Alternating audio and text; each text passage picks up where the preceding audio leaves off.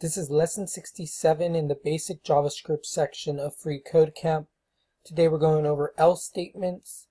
So this is introducing else statement. So when a condition for an if statement is true, the block of code following it is executed. What about when that condition is false? Normally nothing would happen. With an else statement, an alternate block of code can be executed.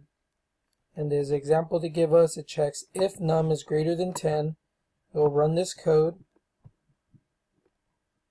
But if not, it will run this else, which will run return 10 or less.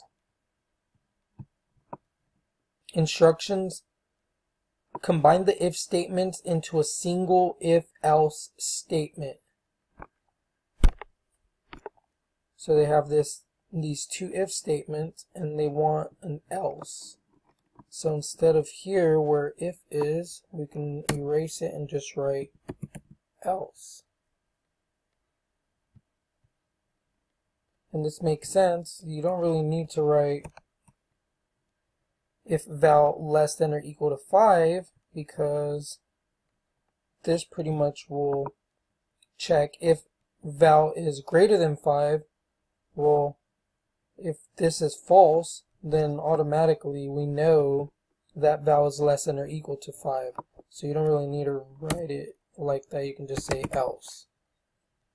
And again, that works. Same, same way. Less code to write. It's a little better. And that should be it for this lesson. You should only have one if statement, which we do. You should use an else statement, which we did. And we're good.